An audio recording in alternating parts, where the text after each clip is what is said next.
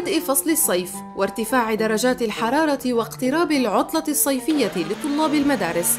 يبدأ بحث الأهالي عن متنزه لهم يخفف عنهم حرارة الصيف ويكون بمثابة مكافأة لأطفالهم بعد عام دراسي حافل.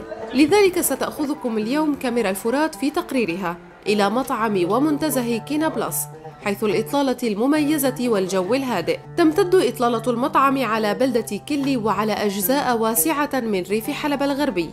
كما يتميز هذا المشروع كونه منتزها ممتعا يفسح المجال لزواره من عوائل أو شباب. إذ يوجد مكان مخصص للعوائل بالإضافة إلى جلسات شبابية حيث يوفر المنتزه جميع المطالب من الطعام والمشروبات. كاميرا الفرات زارت المكان لتنقل لكم صورة عن جمالية الأجواء. بسم الله الرحمن الرحيم. سليمان بربور مدير منتزه كينا بلاس. أقيم هذا المشروع في منطقة جغرافية مطلة على بلدة كلة وعلى أجزاء واسعة من محافظة آه، أو ريف حلب الغربي. يتميز هذا المشروع بكونه فسحة سياحية مميزة وممتعة لزوارنا الأكارم. طبعا فيه خدمات متميزة وفيه أماكن للعائلات الخاصة بالإضافة إلى الجلسات الشبابية. كذلك الأمر يوفر هذا المنتزه آه، جميع المتطلبات العزومات والحفلات الخارجية.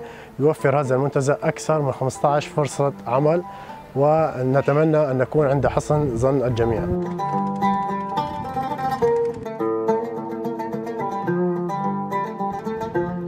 السلام عليكم خالد عبد الكريم آه، كابتن صالة. آه، صالة منتزه ومطعم كينا بلاس.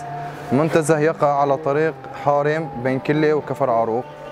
المنتزه له آه، موقع استراتيجي مميز حيث يطل على كلة وريف إدلب بالشمالي بالكامل وريف حلب الغربي الأتارب وما حولها المنتزه هو يعني الأول من نوعه في المنطقة. نستقبل يوميا العشرات من أهلنا. في كلية وخارج من خارج كلية. لدينا قسم عائلي.